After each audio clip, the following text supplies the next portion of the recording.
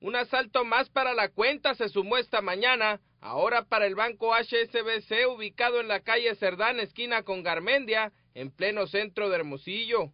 Alrededor de las 10.50 horas, un individuo que fingió ser minusválido robó en una caja del banco HSBC en el centro, utilizando una nota intimidatoria escrita en papel. De acuerdo con los primeros informes, el delincuente amenazó a la cajera, advirtiendo que iba acompañado por otros dos individuos pero no fueron identificados por personal del banco. Que llegó una persona y que le enseñó una nota que decía, con muletas, que decía que traía las muletas de pura pantalla.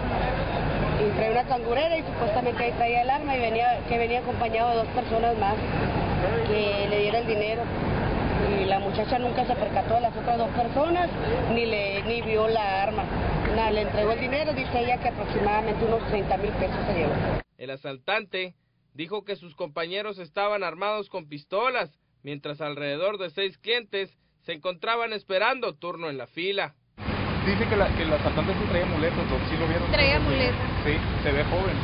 Joven como 40, 40 ¿Y cómo, no lo vieron cómo caminaba? ¿Si caminaba normal o si Pues la verdad nosotros íbamos entrando y él iba saliendo, pero pues sabe, ¿verdad? ¿Y normal, es tranquilo? Normal. ¿Y las muletas sí las estoy utilizando o, iba de pinta nada? Pues sí, iba incluso nosotros por amables.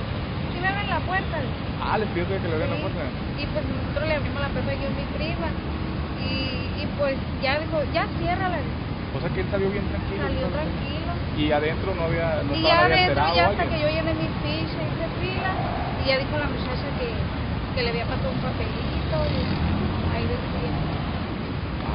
Pero no sabía nadie.